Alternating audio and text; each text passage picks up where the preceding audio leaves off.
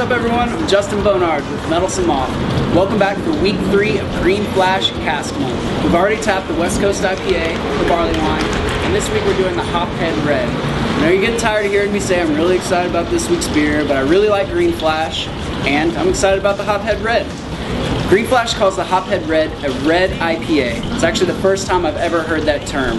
It's got 7% alcohol and 70 IBUs, which are both lower than the West Coast IPA, making it a little bit more sessionable. It's going to be big and caramely up front and piney and resiny on the finish. I'm especially excited to have this on cask because the first cask ales I got into were malt forward beers like ESBs, porters, and stouts. I think this cask conditioning is going to be really nice on this Hophead Red. Uh, it's also just a rare treat. You don't ever see Hophead Red on draft, let alone on cask. Also want to take a moment to tell you about the Rayon Vert.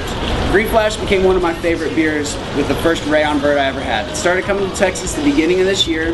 It's a Belgian pale ale, bottle conditioned with Brettanomyces. Really light, really crisp American hop character and Brettanomyces funk, that barnyard hints of cherry. Uh, 7% alcohol, and it's my household beer. That's what I keep around the fridge all the time. Uh, from the first Rayon Vert I had, along with my bartender buddy Damon, we were in love with Rayon Vert, which actually means green flash in French. Bunch of smartasses, right?